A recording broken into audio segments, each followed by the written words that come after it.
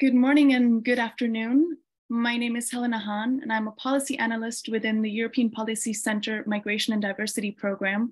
And I'm delighted to be moderating today's online policy dialogue exploring transatlantic opportunities for expanding and future proofing refugee protection. I would like to use this opportunity to thank our partners, the US Mission to the European Union, for their excellent cooperation in organizing this event. Before introducing the event, I'd like to briefly acknowledge a small change in panelists. Unfortunately, Director General Monique Pariat was unable to join us today. However, we have the pleasure of having Deputy Director General Beate Gminder with us today to enrich the discussion. Now, just last week, the latest report on global trends on forced displacement was released, delivering a sobering analysis of the state of refugee protection, but also providing some indications of positive changes. The number of asylum applications made last year reflects a marked overall increase in global protection needs. And while some of this can be linked to the post pandemic lifting of restrictions, which enabled people to move more freely, it is also a reflection of the volatile and fragile situations people around the world find themselves in. Ukraine, Afghanistan, Venezuela, and Syria are but a few examples of the countries people are forced to flee. At the same time, the opportunities for providing durable solutions also seem to be shrinking. This is particularly the case as safe return remains beyond reach for the majority of forcibly displaced persons. And while resettlement numbers doubled between 2021 and 2022, they represent just 7% of the overall resettlement needs according to UNHCR. There's therefore a need for sustained commitment and action on resettlement. But a broader look at developments in EU member states and the United States also reveals a growing interest and investment in complementary pathways. Within this bargaining policy area, various schemes have been piloted, including community sponsorship and educational pathways. And with growing experience on both sides of the Atlantic, now is an opportune time to reflect on these experiences, as well as the challenges of establishing complementary pathways, be it with the aim of boosting admissions, providing dedicated reception and integration support, or mobilizing them as part of crisis responses. Against this background, today's discussion is an opportunity to reflect on the way forward for ensuring and expanding access to safe pathways to protection. What are some of the bright spots, but also challenges to boosting refugee resettlement? What are some of the lessons learned from the displacement crises in Afghanistan and Ukraine? And how can innovative practices stemming from them inform future responses? And given that protracted displacement situations, but also humanitarian crises, will likely only increase protection needs, how could further mutual learning and coordination lead to stronger solidarity and more strategic responses on both sides of the Atlantic? To discuss these and other questions, we have with us today a distinguished panel of speakers, which I'm delighted to introduce. We have Julieta Valls Noyes, who is Assistant Secretary at the State Department's Bureau of Population, Refugees and Migration. Pleasure to have you with us today, Ambassador. We also have with us today Beate Gminder, who is Deputy Director General of DG Home in the European Commission, as well as Hans van de Weerd, who is Senior Vice President in Resettlement, Asylum and Integration at the International Rescue Committee. Thank you all for joining me today. Before I hand over a few brief words on housekeeping, I will invite the panelists first to give their initial statements of approximately seven minutes, after which we will have a short panel discussion. The rest of the event will be dedicated to an open Q&A. If you would like to ask a question, please submit them in writing by using the Q&A function at the bottom of the screen. You will also have the chance to ask questions live. To do so, please use the raise the hand function. I would like to ask all participants to keep your questions as concise as possible and to please state your name and affiliation so we know who you are. And a very final note is that this event is being recorded and a recording will be available online shortly thereafter. Now, without further ado, I'd like to hand over to our first speaker. Ambassador, the floor is yours. Thanks, Helena, and, uh, and thanks to your team at the European Policy Center for the opportunity to join this important discussion today alongside such distinguished fellow panelists. Let me also thank all of our European partners for their efforts to provide durable protections for refugees. Shaping a rights respecting future for displaced people takes collaboration across the international community, and we deeply value these partnerships. Thanks also to the European Commission and DG Home for their continuing leadership to expand safe legal pathways for vulnerable people. From the earliest days of his administration, President Biden has prioritized expanding refugee resettlement in the United States. His very first executive order on refugee policy established a very ambitious goal of 125,000 annual resettlements in the United States, a number that we had not reached in decades in this country. We have spent every day since then working towards getting to that goal. Um, we've been strengthening, expanding, and modernizing the US refugee admissions program to make, to make progress. We knew that first we had to rebuild our program against a backdrop of significantly weakened overseas and domestic resettlement infrastructures and the lingering effects of a global pandemic. We also faced intervening crises as we were trying to build up to those numbers that very significantly diverted our attention and resources from that work. From the fall of Kabul in August of 2021 to Putin's further invasion of Ukraine in February of 2022 to the outbreak of armed conflict in Sudan just last month. So even despite these additional challenges, I am proud to say that we are seeing the fruits of our labor.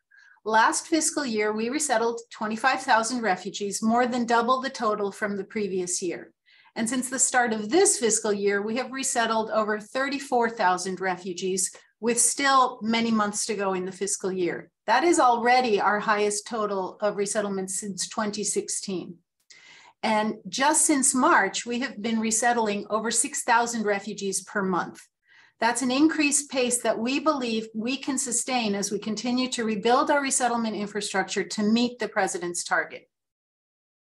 So our success in doing this is a result of a strategic rebuilding process that's focused around three priorities. First, incorporating lessons that we learned from emergency responses in Afghanistan and Ukraine. Second, positioning our program on a more durable foundation for the future. And third, modernizing the program to respond to evolving needs and emerging opportunities. So let me talk first about the lessons from Afghanistan and Ukraine. To date, the United States has welcomed more than 97,000 Afghans fleeing the Taliban's rise of power and over 136,000 individuals forced to flee Putin's continuing aggression in Ukraine. We've done it by finding and creating new lawful pathways and uh, from from within our system. Experts inside and outside the US government have talked for years about pursuing innovative ways to expand and streamline our, our screening, immigration, and assistance processes. We needed to make them more agile and responsive in emergency situations. And these crises forced us to stop talking about it and actually start doing it. So we found that even providing for even the most basic needs has required significant innovations.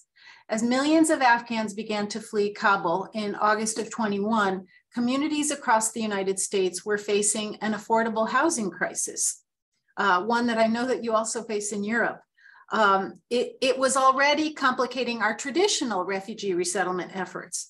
So, faced with the reality that our assistance funds were inadequate to buy our way out of this situation, we found new ways to partner with the private sector to mobilize additional resources and public engagement. We capitalized on the huge public outpouring of support from American citizens and companies in collaboration with an organization called Welcome.us, a nonprofit that was created to coordinate government, private, and nonprofit sector assistance to those arriving from Afghanistan. Companies like Airbnb are now working directly with US resettlement agencies to meet refugees' immediate housing needs.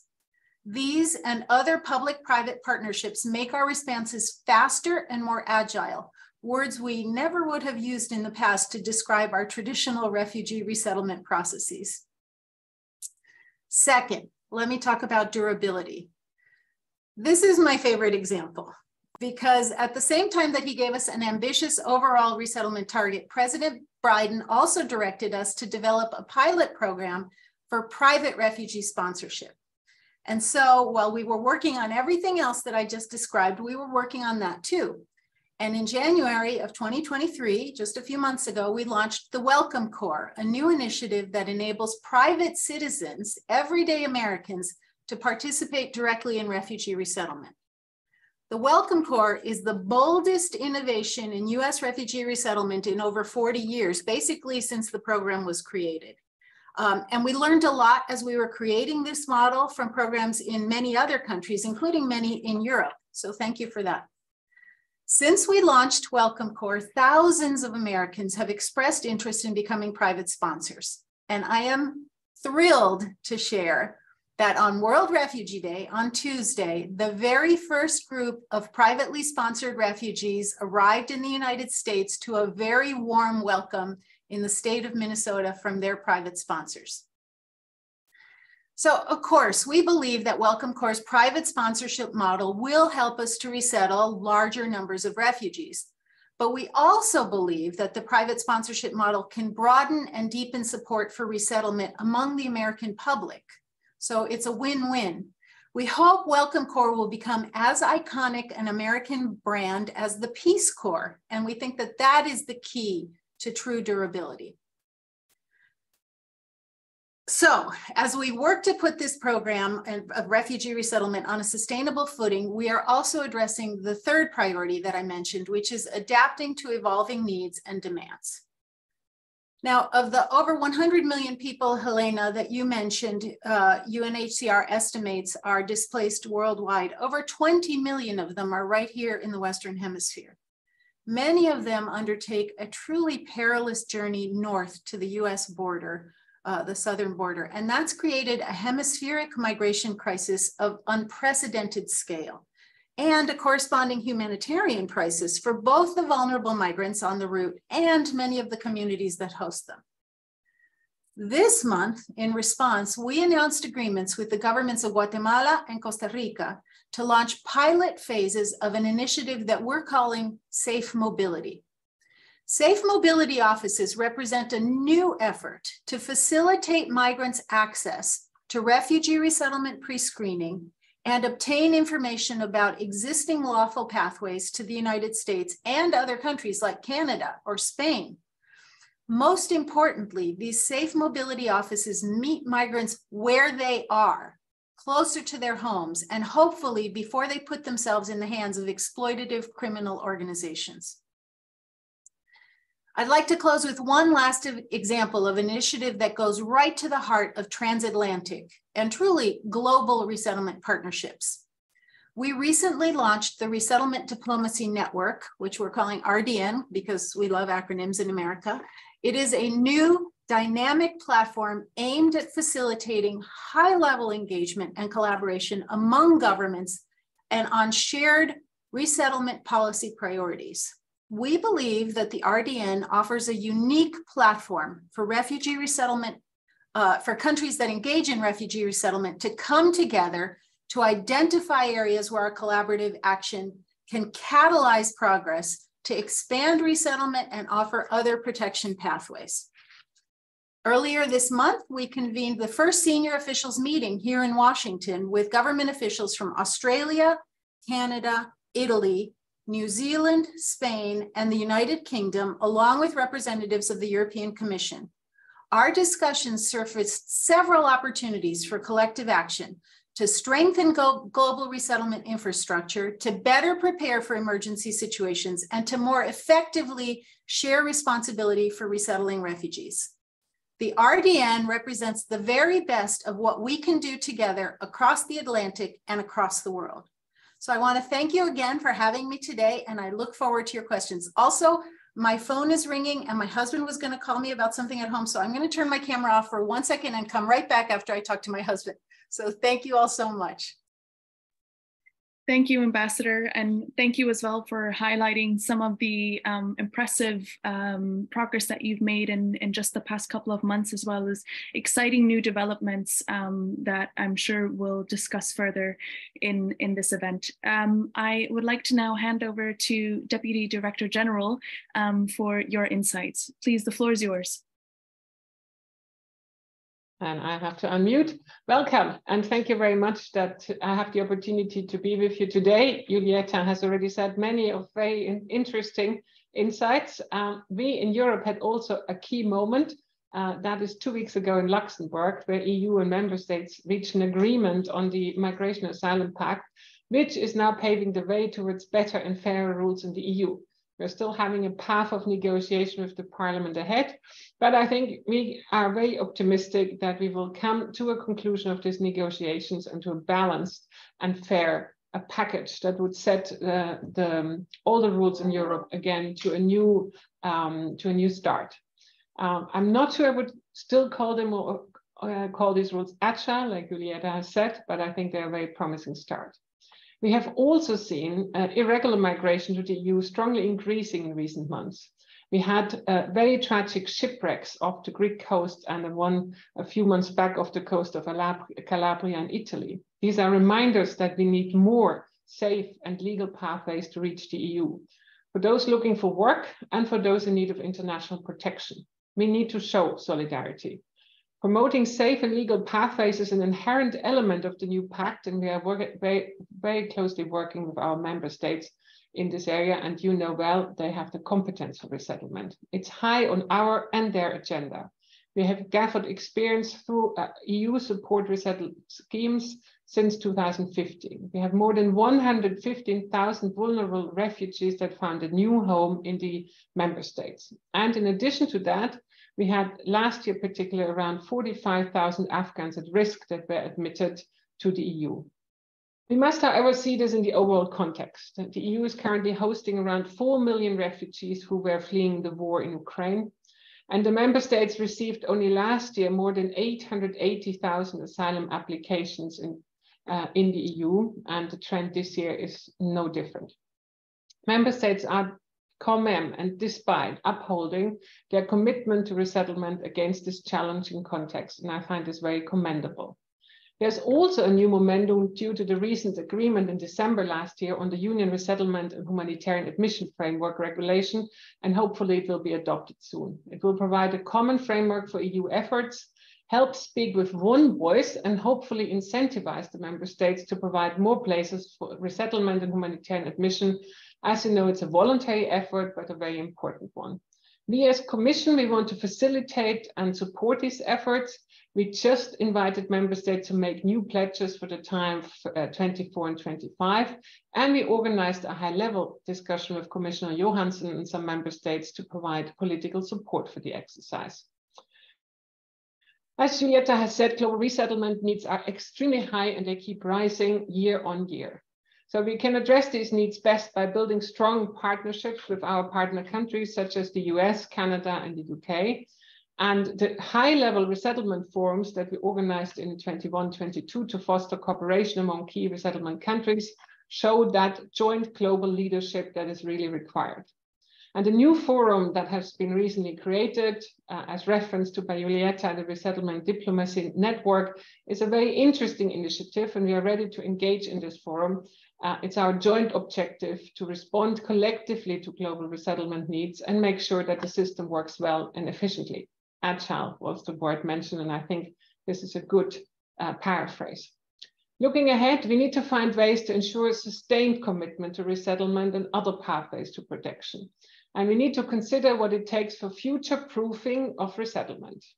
So innovative practices are very important. Some were already mentioned.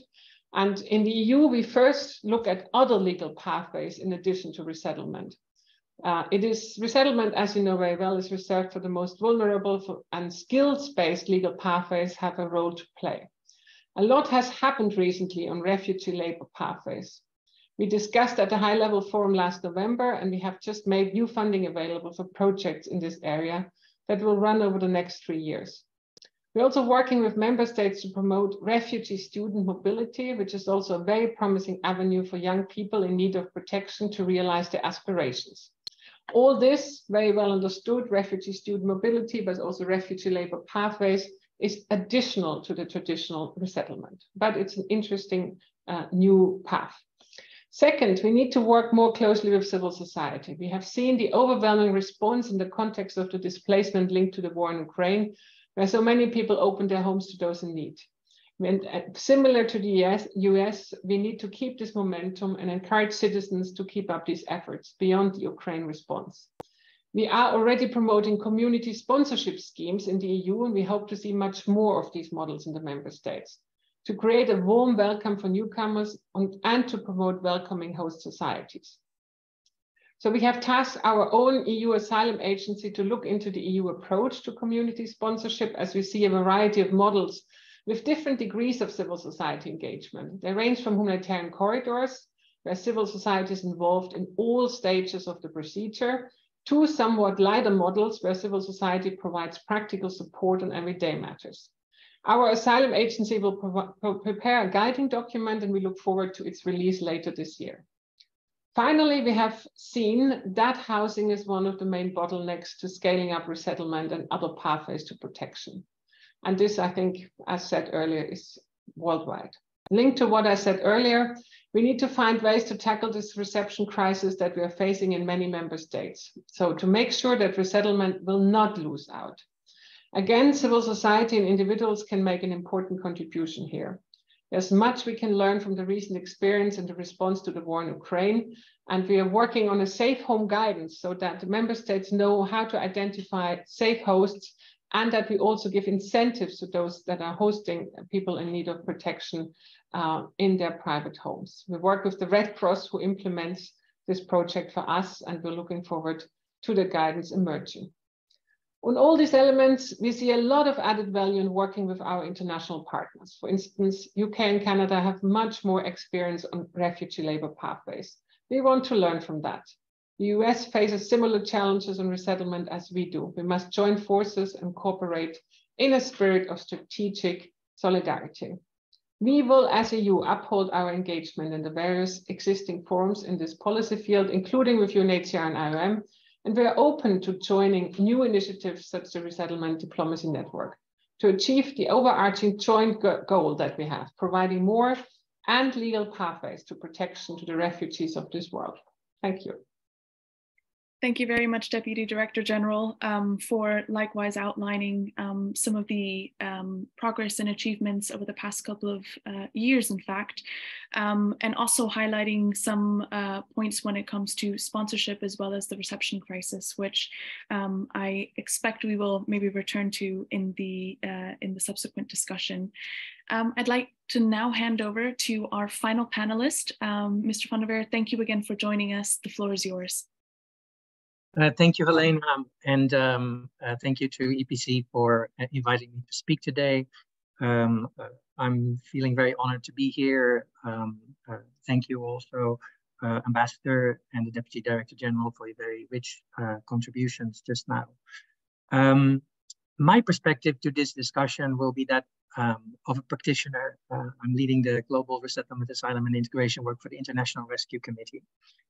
Um, as a European in America, um, uh, I've been working on refugee and asylum issues for the past 10 years. Um, and our work in the US extends to 30 cities. Uh, we work along the US southern border.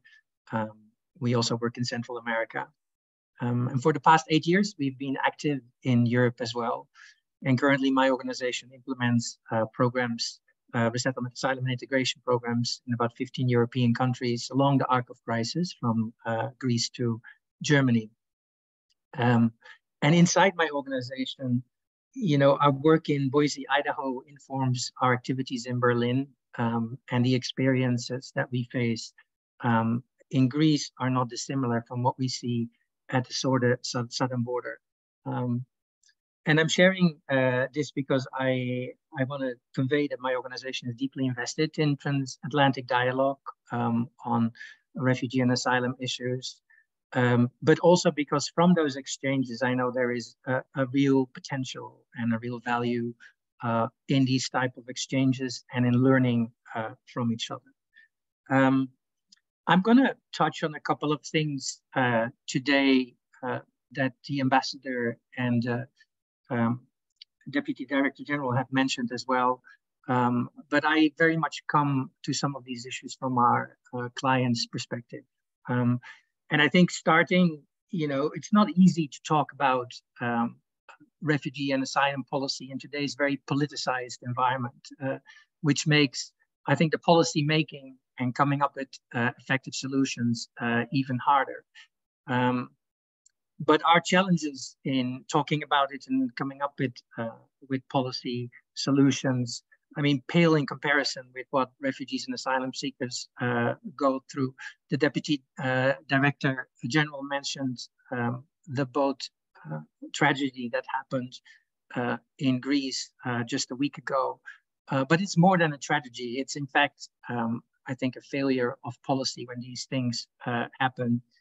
And, and before I, I speak about the bright spots and promising policy directions and where I will echo some of the things um, that have been said before, I, I, do feel it's necessary to call out some of these policy failures uh, that refugees and asylum seekers, you know, bear the brunt of every day, um, and where we have to do better uh, collectively um, uh, to come up with solutions. Um, we've mentioned the, the escalating global resettlement needs, um, and it's true that commitments uh, for resettlement spots have been increasing, but commitments are not you know, actual resettlement. And we have to be very um, aware uh, that a lot of the resettlement commitments are still very fragile uh, uh, these days. Um, and I think more is expected from high income nations um, to, to, to, to take that responsibility. And I think still today, too often the responsibility is left to middle income nations, uh, Pakistan, Uganda, Colombia, Jordan, um, while we still see a hardening um, at our at our own borders. Um, for example, in Europe, uh, I think the continued lack of safe and legal routes uh, to exercise the right to asylum, um, I consider that still a failure of policy and the the absence of adequate systems to access protection and durable solutions from third countries, um, the really meager processing capacities at hotspots, um, the absence of effective return mechanisms for, for those asylum claims that fail, they create chaos. Um, and ultimately, uh, that only benefits uh, uh, the, the, the, smugglers.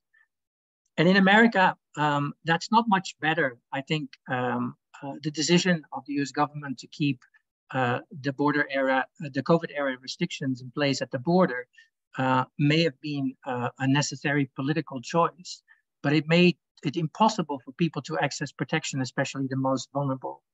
Um, and so we see that that also forces still more people uh, to engage smugglers um, or to be exposed to dangers in, uh, in Mexico. Um, and the temporary pathways that we spoke about uh, earlier um, that were offered to Afghans and Ukrainians, uh, that were a very effective, uh, quick fix, fix um, should not be confused for uh, durable solutions. Um, uh, and they should also not be uh, just uh, used to justify, I think, policy that erode the right to asylum uh, or uh, should not unwillingly create inequities for other people in need of protections. Um, they are incomplete policies, in fact, if there's no permanent pathway to um, citizenship or, or integration and they these programs remain deeply vulnerable uh, to political uh, ups and downs around these uh, uh programs. So need to really be embedded more firmly in a regulatory uh, framework.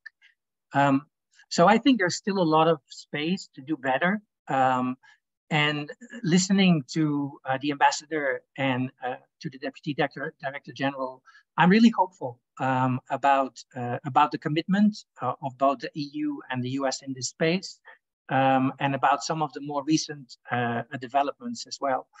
Um, you know, I wanted to start also by applauding the creation of the Resettlement Diplomacy Network. Um, I think it is really important that we reverse uh, the race to uh, the bottom and that we increase uh, resettlement numbers across high income nations uh, and that uh, EU and the US will further explore how they can share processing and referral structures uh, across countries, exchanging lessons learned uh, from these two crises that, uh, that, that, that, both of the representatives talking about.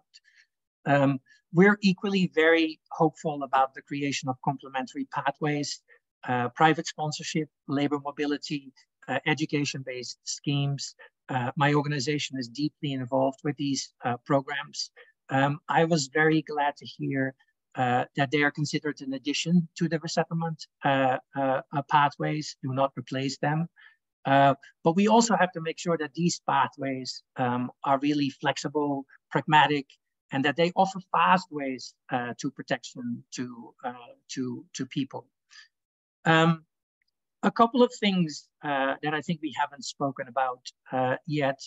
Um, we think that in um, good policies, uh, the provision of humane reception um, of newcomers, uh, humane reception facilities with fair and orderly processes, with perhaps case management as an alternative for uh, detention uh, measures, could be really a beneficial uh, approach and could actually lead to more order rather than the chaos uh, that we see.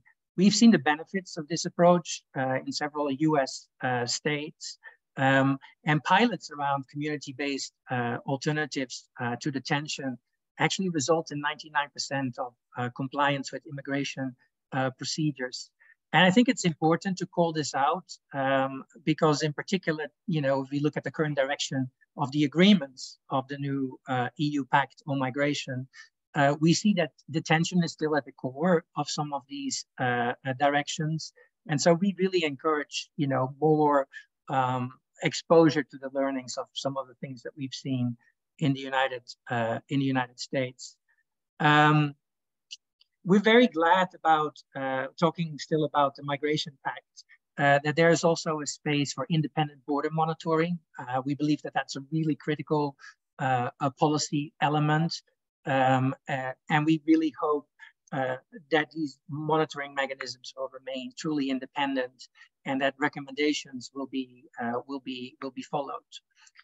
Um, a lot of the vulnerability of, refugees and asylum seekers also follows from the fact that there's a lot of misinformation about uh, what actually is available uh, uh, to them. Uh, and many people um, uh, take action based on, uh, you know, a, a, lack of awareness on the pathways that there, that there are. And so we think that there should also be a lot of policy attention towards how we can inform refugees and asylum seekers uh, giving them clear and transparent information about how, how they can access protection instead of uh, discouraging uh, uh that so that they will become less of a target to uh, vulnerable uh, groups. And I think with today's technology, there is a lot of space to do, to do just that. Um, lastly, and I think both um, the ambassador and the deputy director general spoke about it, um, the public support for refugee resettlement, in fact, is much larger than I think we sometimes assume uh, if we listen to the vocal conservative minorities uh, only. Um, I looked at some recent polling in the United States. 77% of the people, in fact, support uh, refugee resettlement. And so private sponsorship, uh, in particular, offers great potential not only for um, service delivery, but also to really create uh, the political support um, for very ambitious uh, protection uh, agenda. So again, as, as a European living in, in America, I am very much an optimist. I, I believe in the value of our uh, societies. I think uh, the work that both the EU and the US government have done around the US, uh, the, the Afghan evacuation and the Ukraine response have demonstrated that uh, that with political will, public support, uh, and a willingness to reform, uh, protection can be offered on a much much greater scale. Um, and I think during these uncertain times, we need many more pathways, uh, not less. And I think uh, Europe and uh, and the US can really lead the way, in particular if they if they work together on these issues. So thank you. Thank you so much, Mr. van de Weerd, um, for um, highlighting what I believe will provide a lot of food for thought.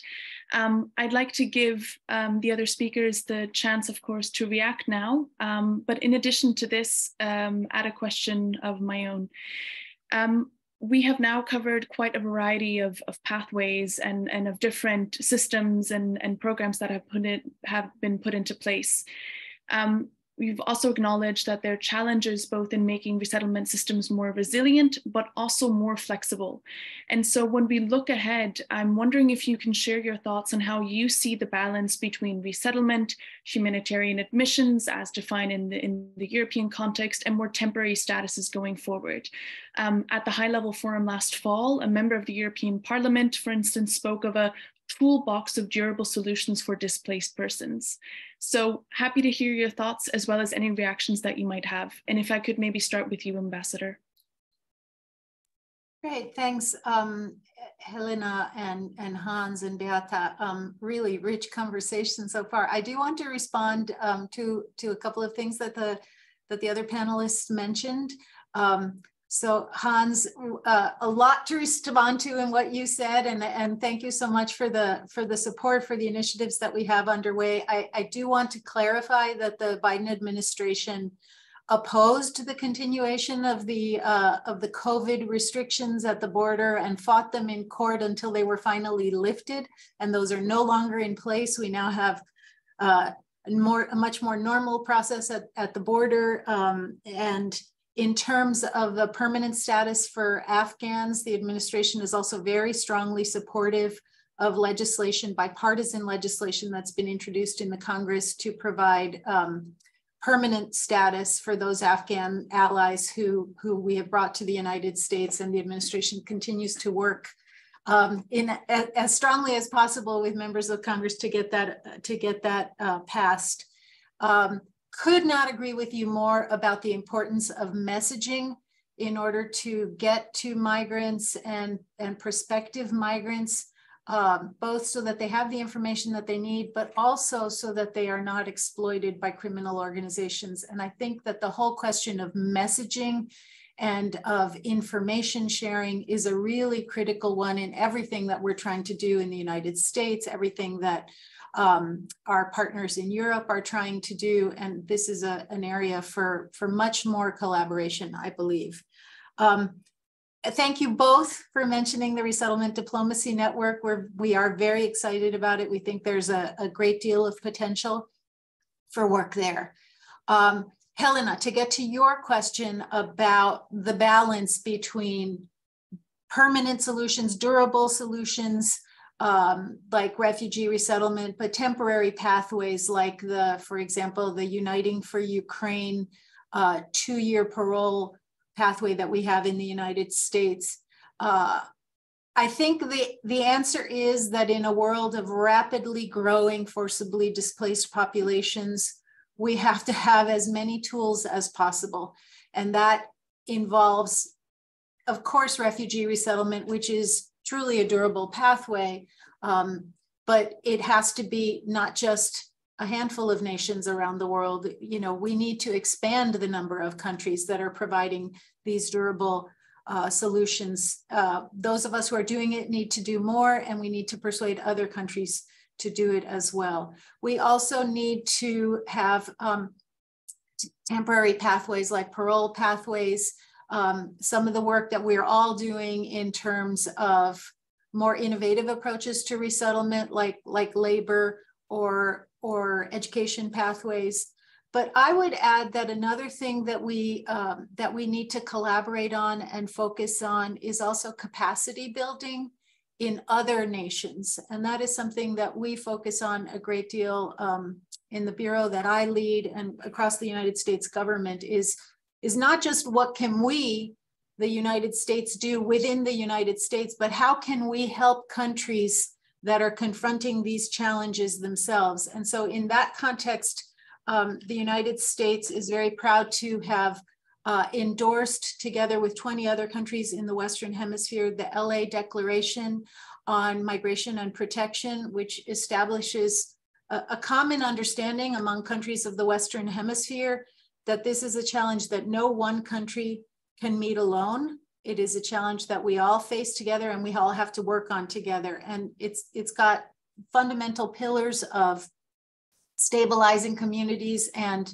and people in need, creating new lawful pathways, humane migration management, and then emergency response. But within that context, we um, provide a great deal of assistance um, to our partners working through, for example, the UN High Commissioner for Refugees, the International Organization for Migration, to help countries in our hemisphere create their own protection um, systems. And so we're very proud, for example, to have been a major contributor uh, to the government of Colombia and to the government of Colombia's efforts to provide temporary protective status to Venezuelans for 10 years. And uh, Colombia now is hosting something like 2.4 million Venezuelans and giving them a legal status, a right to work, very similar to what the EU is doing for Ukrainians. Um, so, so there's a lot that we need to do within our own borders, but also to help countries that are confronting these situations um, within their own borders. And with that, I'll, I'll turn it back to you. Thanks.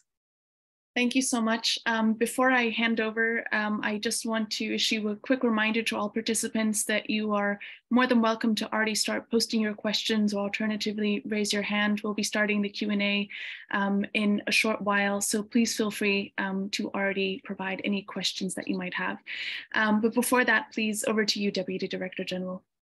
Well, I think uh, you can see very much from what the, the ambassador just said, how much migration is a global challenge because everything you said, Julieta, I could repeat also for the European side. And it's good that we're also trying to find uh, joint solutions because uh, we want to be fair with people, uh, but at the same time, we also need not to overburden our own societies. And that's why I think it's so important to think also about legal and resettlement pathways from the back end, you know, how can you integrate people best? And that's why we're also now so much putting emphasis on community sponsorship, because then you're already arrive with a host. You have someone who holds your hand during the first time you're here, because you will need help, particularly in Europe, where the language issue is even a lot more significant than in the States. Huh? Uh, so that is something we, we, we would like to, but that's also where I think we need to discuss then what we do upfront at the border, because the situation at our borders is not tenable. And we need to provide a better system that we can be fair with people, uh, give those that are in need of protection access, but also avoid that everyone who comes for economic uh, prospects goes an irregular pathway instead of a legal pathway. We have big challenges in Europe with legal pathway because of um, visa um, applications. We're very slow in giving visas, particularly for work. And one of the reasons is capacity that Julieta was also mentioning. Uh, working in migration is a hugely capacity building exercise with a human factor. The people that arrive are humans, and we are, who are welcoming them are working with them are humans. So, you know, you need to have a lot of people, and in the time of very strengthened and strained uh, public uh, budgets, not strengthened, strained public budgets, it's very much a, a difficulty. I could also mirror on the messaging towards uh, migrants. You know, I was very heart stricken last week when the terrible uh, accident happened in Greece.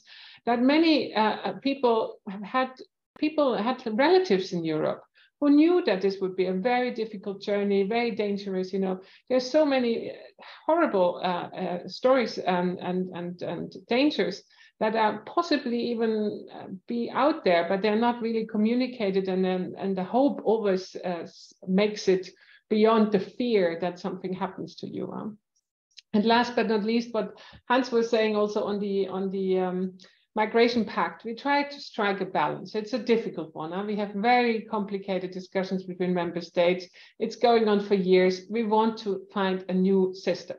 It will never be perfect. Uh, it will have uh, everyone will have to find something for uh, uh in it, but it will have to be a system that it's agreed by everyone to uh, uh, again put a reset button how we deal with migration policies and asylum policies, and we really want to push that, and we're hopeful it will happen. Thank you so much. Um, please, Mr. van de Weerd, over to you for any reactions or responses you might have. Yeah, I would maybe just like to um, uh, refocus, um, you know, our attention on the lessons learned uh, during these two big crises, uh, where um, I think I, I, believe the ambassador said it right, where instead of talking, uh, we did, and we discovered uh, the capacity of our own communities uh, and of our own systems, but where we were also able to um, reduce some of the uh, internal uh, bureaucracy uh, around how we have organized these things over uh, many decades. And I think uh, when we talk about, uh, you know, the capacity needed to do um, this work, a lot of the capacity is also um, focused on investments in a very complicated bureaucracy. And so simplification uh, around family reunification, for example, uh, could really um, um, uh, do a lot of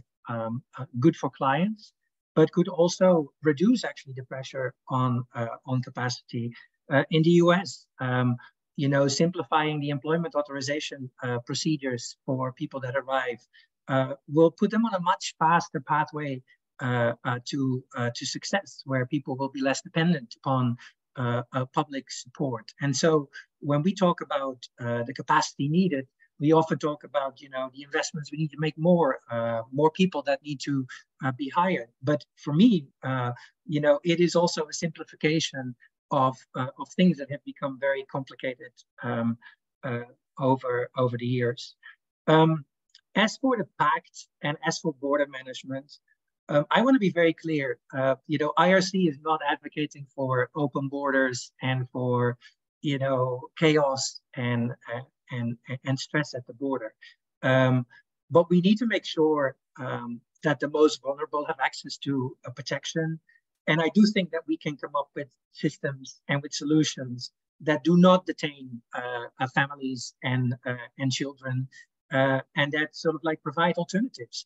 And there um, uh, we've learned um, in previous US uh, uh, phases that this is actually really possible. It's it's possible uh, uh, to uh, to do this, and so I think there we can probably um, uh, do more. Um, a last thing that I would say about um, the private support that we also recognize as an NGO um, as well.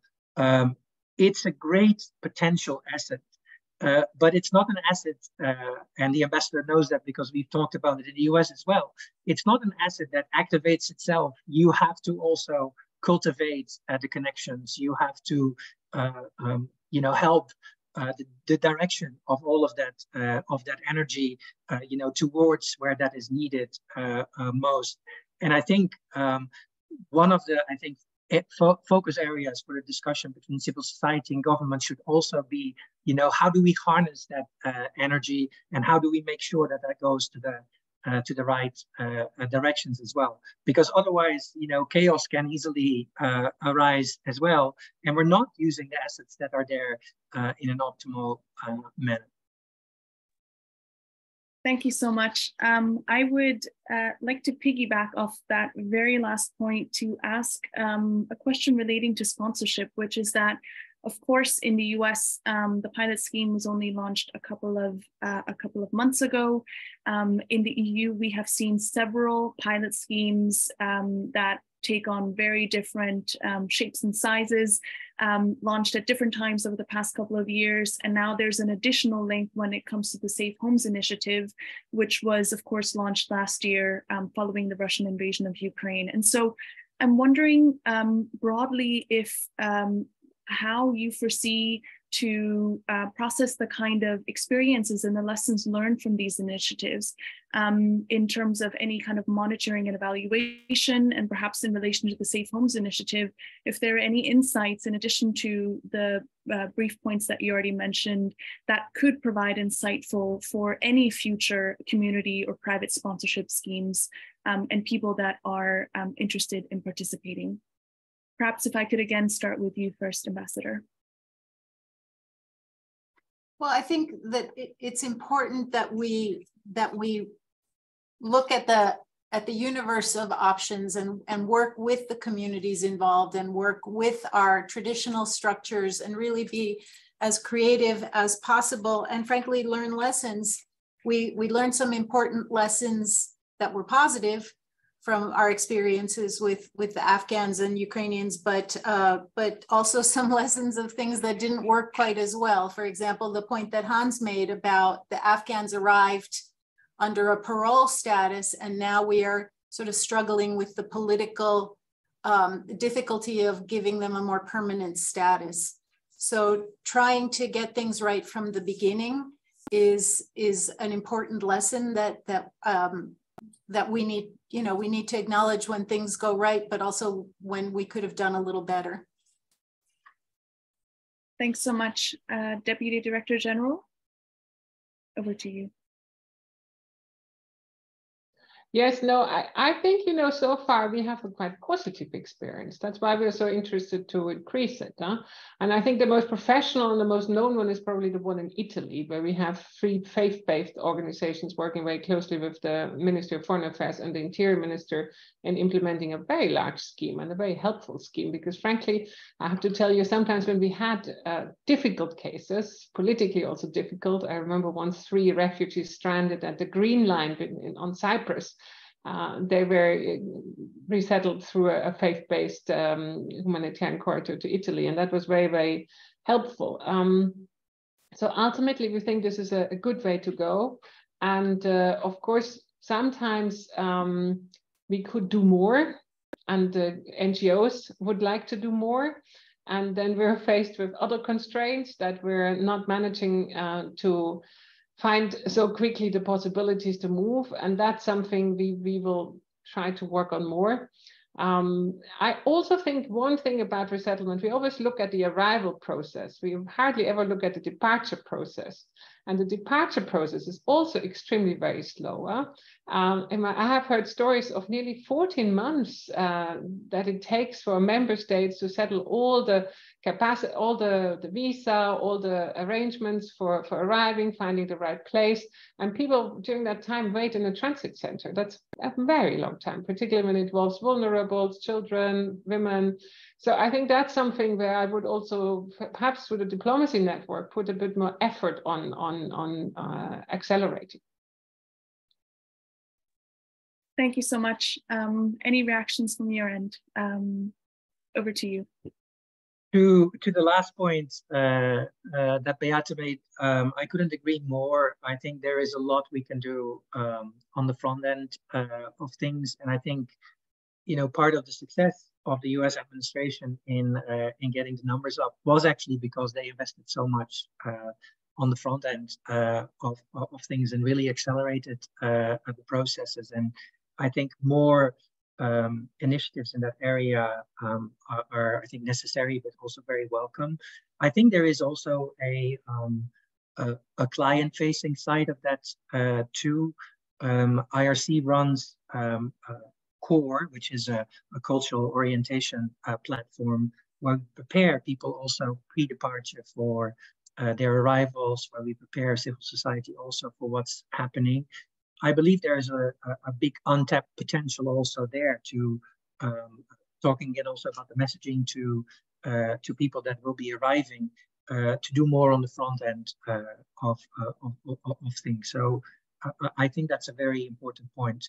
Um, more in general, um, I think when you do reform, when you do innovations, um, there is clearly a risk of failure. And uh, I think we should embrace uh, that rather than run away from it uh, uh, as long as we learn. Like I, I, I think you know we also have found that there are things to be um, improved upon. Uh, we have found within civil society a lot of resistance against some of the reform uh, as well because people are afraid to um, uh, to lose tried and tested methods. But I think if you want to scale up and if you really want to do things differently, and if you want to be ready um, for for for for for much larger numbers, uh, you got to be willing also to um, yeah to make mistakes as well, and then to learn uh, from uh, from them. Um, and uh, and I think that is applicable as much to the government as that it is to uh, civil society um, uh, as well in this in this aspect. Thank you so much. Um, I'd like to now open the floor um, to all audience members um, to ask any questions. I see we already have two in the chat. Um, as mentioned, uh, please feel free to either provide written questions um, and you are also able to ask questions live if you would prefer to do so. Um, so the first question is for um, Deputy Director General uh, Gminder, which is considering the many challenges that lie ahead, but also some promising developments, how will the EU resettlement framework help future-proofing resettlement resettlement needs, if you can maybe go more um, into depth uh, what the changes uh, would be between the um, framework that we currently have and what would happen following adoption. And the second question is, um, uh, is about the availability of legal pathways um, that could allow people to, or that would reduce the incentives for irregular migration um, which is um, that uh, why do even vulnerable people um, that would qualify for, for resettlement uh, believe that legal pathways are very long and uh, in, entail complicated processes and therefore um, opt for uh, dangerous, um, dangerous journeys to reach um, their desired uh, country of asylum. If you could perhaps expand a little bit more uh, on that question, maybe linking it also to misinformation that we discussed earlier. Um, if I could maybe then again start with you, Ambassador, um, and uh, then turn over to the other panelists um, for the question relating to uh, the Union Resettlement Framework as well. The floor is Great. yours.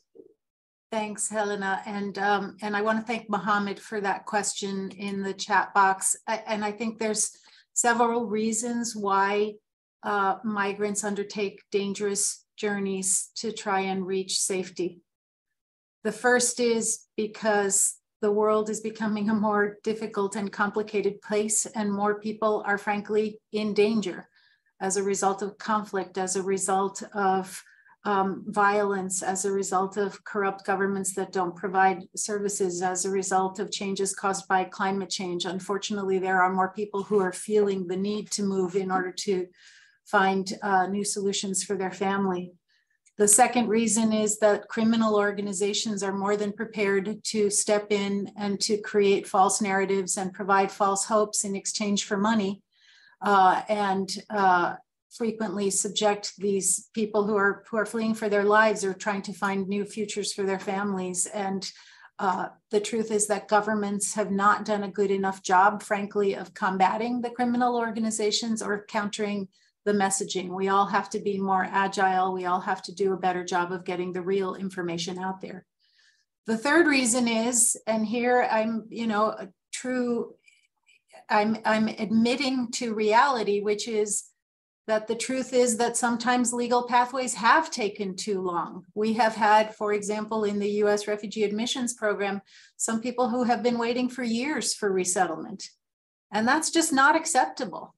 So we, one of the things that we have been trying to do with our refugee um, admissions program is to, to really cut back the cases that are within the pipeline and to, to clear out cases who have been waiting for years by either resettling them or concluding the cases and letting the letting the applicants know that this is not going to work for them so that they can choose new solutions. The other way that we're trying to, to address that issue is not just clearing out old cases, but really reducing the timeline that it takes for people to reach this durable solution of refugee resettlement. We're, we're trying to, to cut the amount of time between application and arrival in the United States or referral and arrival in the United States um, to under to under three months when we can do that. Um, we've made a lot of progress in that regard, but this is, you know, we're trying to do a lot of different things at once. And um, while we're while we're pleased with the progress that we've made, we understand that we need to do more. And then the the fourth reason why I think migrants undertake these these long journeys because they're they're simply not convinced that they can do something faster is because we don't yet have enough complementary pathways. We're all working on that, and we've had a, a, great conversation here about all of the things that we're trying to do.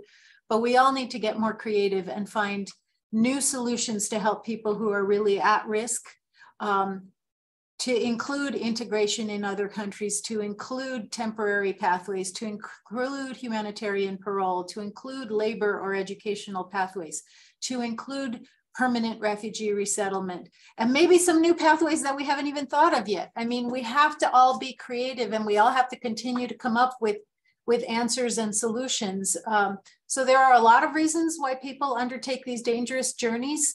Um, and there are a lot of things that we as, as governments and, and humanitarians need to do to try and persuade them not to do that and to give them other options.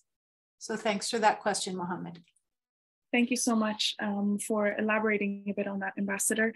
Um, Deputy Director General, um, be happy to hear from you a bit more about, um, about the Union Resettlement Framework. I think, first of all, it's very important that it puts what we currently practice into a framework that will be stable and that is agreed between the member states. And it was also an, is an important element of our pact where we have several elements. We have the pillar of uh, working with third countries. We have the legal pathway pillar. We have the resettlement pillar as one of those. Then, you know, we have the pillar of how do we manage uh, people that arrive irregularly. So that it's part of a, a holistic uh, ecosystem to manage um, protection and migration. And uh, it is a procedural nature, this union resettlement framework. So a lot of the details will have to be worked out.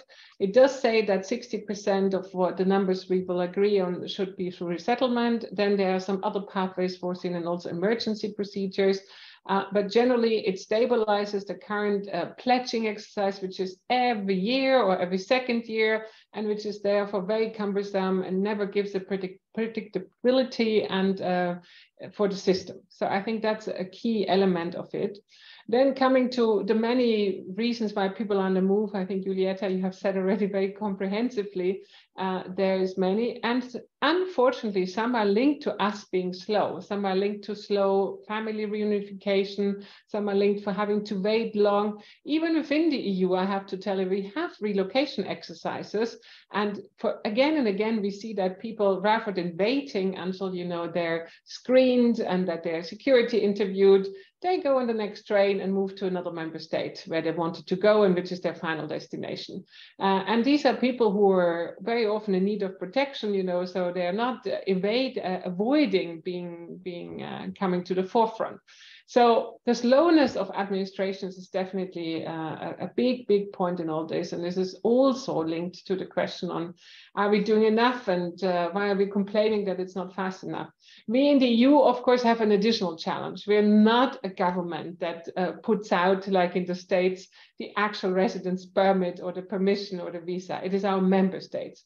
So again, you would always have the cultural um, uh, the culture also coming in. How fast do I do that? What is my relationship with that third country? How proactive am I in resettlement and so on and so on. So there are also these political and, and, and human factors.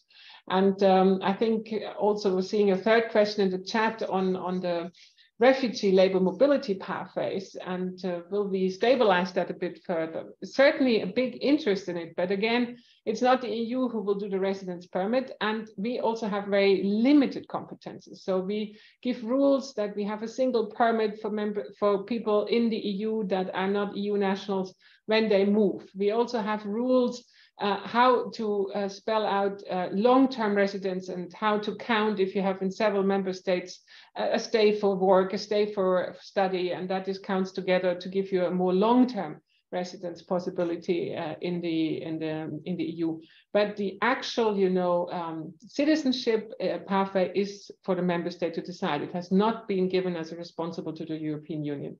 Knowing that and saying that, Many of our member states face really serious labor shortages and are therefore making a huge effort to attract more talents. And we do help with uh, something we call the talent partnership, that we're trying to get all the individual initiatives of member states into one narrative and that we offer a package to a third country for the EU uh, we are interested in you in, in uh, that you have people that want to work with us and at the same time we're also interested in that your country benefits from working with us in uh, developing also the country where people uh, are on the move Thank you so much. Um, I would then also be happy to hear from the ambassador any additional thoughts that she has on, on the third um, question that we received on uh, labor mobility pathways um, and the links to protection. But before doing so, um, I would be happy to give the floor to Mr. van for any of, uh, his thoughts. Over to you. Well, thank you also for the question that that Mohammed asked. Uh, I, I, do feel that um, that the ambassador and the deputy director general um, really answered that uh, that question uh very very well, um, and I was very glad to hear to hear both also say, you know, a lot of this is also related to the processes that are very lengthy and complicated, and and their commitment to uh, to address it and to to accelerate uh, some of that. And I would I would add to that um, also a responsibility for civil society to do even more in making sure that people um, on the move in need for solutions actually have the information uh, they need uh, to be able to make the right uh, decisions them, uh, them, themselves. And yeah, it's just there is just a lot of work for all of us to do there. Um, on the EU resettlement framework, um, obviously this is a very welcome uh, development. Uh, first of all, uh, because I think it uh, it standardizes uh, uh, the approach um, of the of the EU. It really establishes it firmly as a sustainable, durable solution within the, the EU as well, which is I think very necessary. Um, but of course, uh, the success, ultimate success of it, uh, falls with um, the true commitments that countries make to resettlement, uh, numbers that need to go up, um, and then commitments that need to go beyond numbers, but that need to go towards actual uh, uh, resettlement uh, that needs to, you know, result in national budgets making funding available for this for this type of work. So, so it's a really welcome step. Um, it will definitely result in sustainability, but there are a few more steps uh, needed that now are with national governments to um, uh, to to step up in that in that front as well, and and that's what we um, yeah hope will will happen next. Thank you so much. Um, now, as mentioned, the um, the question that was posed beforehand um, is uh, as you adopt refugee labor mobility pathways as an innovative solution for protection, to what extent are the US and EU thinking about ensuring that these pathways are protection sensitive? So offering durable solutions a path to permanent resident citizenship. And this is indeed something that we've um, been seeing discussed in, in a variety of on a variety of occasions. Um, how do we find a balance between, on the one hand, emphasizing and identifying those that are most vulnerable, but also then um, orienting ourselves towards the skills that um, people in need of international protection might have. Um, of course, there are also challenges when it comes to issuing visas that are then dependent on employment rather than protection. So Ambassador, if you can maybe share um, and elaborate uh, a bit more on that. Um, the floor is yours. Sure. No, it's a great question. And we've had for, for many years in my country, we have had labor pathways that were related to skills that we were lacking in the United States or to, to migrants of, of exceptional of exceptional abilities, they um, had the ability to, to migrate and to get permanent residence and to become American citizens. And we are, after all, a nation of immigrants. So that has long been a tradition in our country. But uh, we are now, and our, and our refugee resettlement pathway in the United States has, um, since its inception, been protection focused. It has been directed at those people with the greatest protection needs, the greatest vulnerability identified by the High Commissioner for Refugees. And that has been the focus of our refugee resettlement um, program to date. We are now getting ready to undertake a pilot for a labor refugee um, identification and resettlement, where we will look at people who have protection needs, who, who meet the criteria for resettlement as refugees, but who also may, in addition, have particular skills that employers in the United States or communities in the United States are looking for. And this is a new approach for us, and we're starting off with a with a small pilot. I, I will um, share that we are speaking with some of our partners the Canadians, for example, have had a program like this for, for some years and which has been very successful. So um, we are conferring with them and, and trying to get advice and, and looking at how we can have a program that has both protection um, aspects as well as as these labor aspects that we're looking for. And it's a pilot and we'll see how it goes but but we've had sort of these two parallel processes in the united states of labor related migration and refugee resettlement based on protection and we'll see how we can make them combine into into this new pilot. Thank you Thank you so much. Um, very interesting to hear. And likewise, in addition to the Resettlement Diplomacy Network, um, interesting developments that um, I'm sure we'll hear more about in the coming months. Now, we're uh, close to uh, close to the end of the event. Um, and before handing over to the Deputy Director General, I just want to add, we received one more question for clarification um, in terms of whether there's a role for civil society organizations to become involved and contribute to the resettlement diplomacy network. Um, so happy to hear from you, Deputy Director General first, and then um, perhaps Ambassador, if you could um, uh, comment on the second question. No, I just wanted to comment quickly on the uh, labor mobility and resettlement, huh? because I think it's it's like you described, it's a toolbox. Huh? So it's one option, and we're also trying to take a bit of innovation here because we have also uh, we are now funding a, an, a project that is called EU Passworld project that selects on the basis of skills for admission under humanitarian corridors. And it's a it's a small project, but it's an important one to take lessons because I think the more the better and the more flexible the better as well huh? we we have to develop there. Then i saw a few questions in the chat also uh, linked to you know should we talk more between the us and the eu i do think we talk quite a lot but uh, we can always do better of course uh, and my migration is something to be handled internationally and there's certainly um, a, a, key element that we that we also uh, learn from each other. And I think we are at the moment going slightly different ways, but we're looking at each other. How can you manage correctly, fairly, and sustainably uh, in in in uh, all the, the the needs that people in, for protection have? And on the diplomacy network, I leave this to the leader, the US.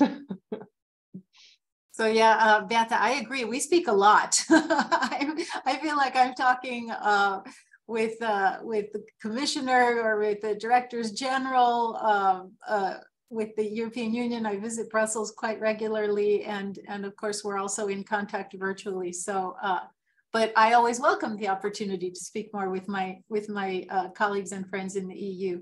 In terms of the resettlement diplomacy network, we actually have a secretariat that is made up of um, uh, civil society organizations. Um, it, it's still a new initiative. We're still, uh, we have an expression uh, that's become very fashionable in the United States that we're building the plane as we're flying it. So we are building this resettlement diplomacy network as we are launching it.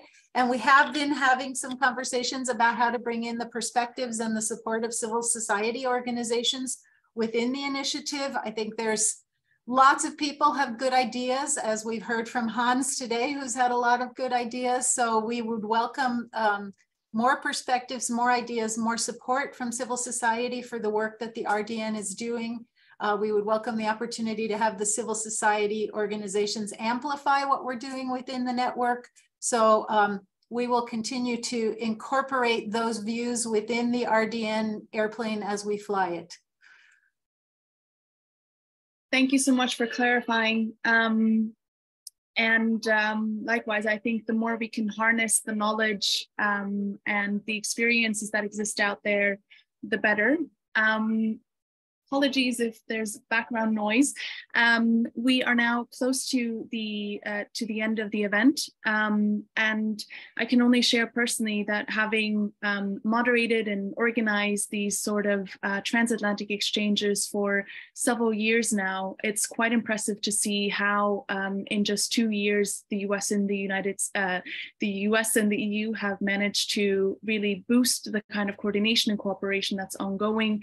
It's not just about the, uh, the ministerial meeting um, that happens uh, twice a year, um, but also with the recent um, exchanges, which um, in light, of course, of the, um, of the crisis in Afghanistan and then also Ukraine is much needed. And I think is only goes to show that there is, when there's willingness, there is also space to not only on a practical level, but really also on a strategic level to try and find solutions um, not just for the United States and the EU separately, um, because as the discussion has clearly shown, there's a lot of um, experiences and lessons learned that can be shared and potentially also adapted and applied in the uh, in the respective context, but really to join together um, and to try and coordinate both in times of crises, but also beyond. So with that, I would like to thank all of you. I would like to thank the ambassador for joining us to for the uh, Deputy Director General for joining us on a somewhat more uh, shorter notice. And of course to Mr. van der Weerd, um, it was a pleasure to hear from all of you. I'd also like to thank our partners once again, in particular, Brian Street from the US Mission here in Brussels. And finally, I would like to thank all of you for participating and joining us today. The EPC's migration team will continue working around the topic as well as opportunities for more transatlantic cooperation. In fact, we uh, did an event on uh, climate change, migration and displacement, and I saw that the State Department just issued um, uh, a new strategic outlook on working around this issue. So uh, again, a sign that there are more issues to be discussed in these kinds of contexts coming up. Um, and I would also like to encourage all of you to keep an eye out for a few further events as well as publications in the coming months. So thanks again. Thank you, Helena, and thanks to EPC for organizing this, this terrific discussion. I really enjoyed it, and I, I took some notes of things that I'm going to follow up on. Me too. Thank you very much. All right. Have a good day.